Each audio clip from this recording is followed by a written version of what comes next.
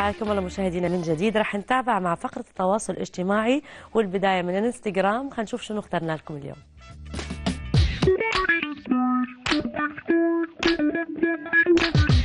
حساب الانستغرام الذي سنتحدث عنه اليوم هو للرسام حسن الدرعان البالغ من العمر 21 والذي مارس الرسم كهواية في صغره دون دراسة وقرر قبل دخوله الجامعة أن يصقل هواياته علما ومعرفة. حتى بات ينافس أبناء جيله بثقة وتميز وذلك عبر الرسم الرقمي. لنتابع.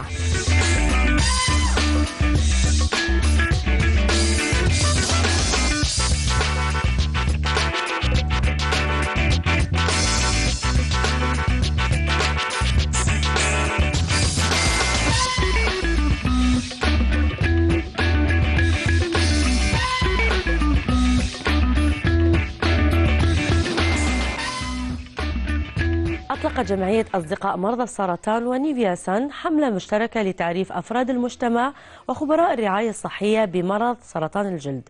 أحد أكثر أنواع السرطان انتشارا وأقلها فهما في منطقة الشرق الأوسط. الله يعافيكم ويعافينا. نشوف هذا التقرير ونرجع لكم. نحن سعداء اليوم بإطلاق حملة سرطان الجلد والتوعية بمخاطر سرطان الجلد. واللي هي تسمى حديث الشامة حملة مشتركة بين جمعية أصدقاء مرضى السرطان ونيفيا سان ووزارة الصحة في دولة الإمارات العربية المتحدة. الحملة راح تقوم على مرحلة ثلاث سنين وراح تركز على توعية مجتمع دولة الإمارات بضرورة الوقاية من الشمس وكيفية الوقاية منها. وطبعا عن سرطان الجلد ومخاطر سرطان الجلد. الحملة راح تركز على تثقيف مجتمع دولة الإمارات بدءا بالأطفال. لهذا ستبدأ الفعاليات مع رياض الأطفال مع المدارس إلى الجامعات. ورح نتجه إلى المرافقة العامة مثل البحر مساكن العمال.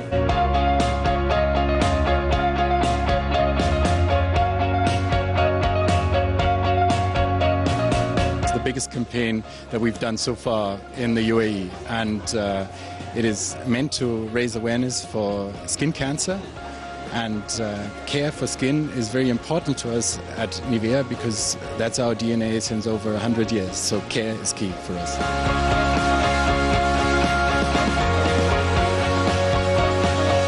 هذه الحملات ترفع كثير من الوعي عند الناس وبالتالي تغير من السلوكيات والمهارات اللي عندهم. وهذا هو الهدف من الوعي تغيير سلوكيات. يعني نحن ما نبي بس الناس تكون عندها وعي لا بالمقابل إنها تغير من سلوكياتها. ومثل ما قلنا تتجنب الأشياء اللي يعني المفروضة عليها لما تتعرض لأشعة الشمس المباشرة.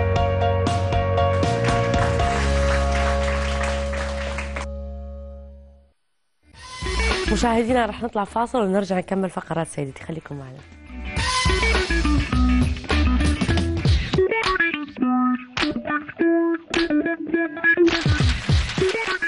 في سيدتي بعد الفاصل كيف نحمي السعوديات من المحتسبين في المحافل الثقافية؟